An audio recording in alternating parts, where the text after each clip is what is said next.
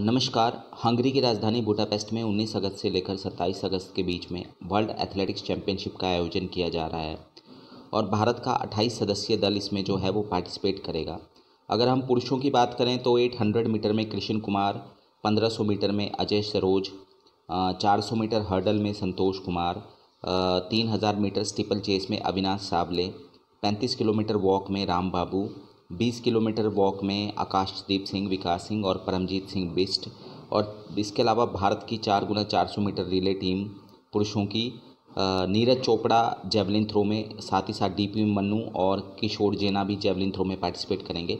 पिछले एथलेटिक्स जो चैंपियनशिप हुई थी 2022 उसमें नीरज चोपड़ा ने एकमात्र पदक सिल्वर मेडल जो है, इसमें जीता था।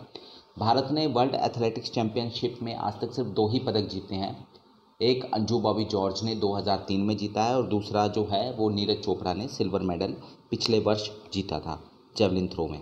इसके अलावा हाई जंप में सर्वेश, अनिल कुसारे, लॉन्ग जंप में मुरली श्रीशंकर और जैस्मिन एलरिन ट्रिपल जंप में प्रवीण चित्रैल और अब्दुल्ला अबू बकर और एडल हाउस पॉल। इसके अलावा अगर पाँच महिलाओं की बात करें जो इसमें पार्टिसिपेट कर रही हैं तो हंड्रेड मीटर हर्डल में Jyothi Yarraji three thousand metre steeplechase में पारुल चौधरी बीस किलोमीटर वॉक में भावना जाट इसके अलावा लॉन्ग जंप में शैली सिंह और जेवलिन थ्रो में अनु रानी। तो ये 28 सदस्यीय दल जो है, वो 19 अगस्त से लेकर 27 अगस्त के बीच में होने वाली वर्ल्ड एथलेटिक्स चैंपियनशिप में पार्टिसिपेट करेगा। धन्यवाद।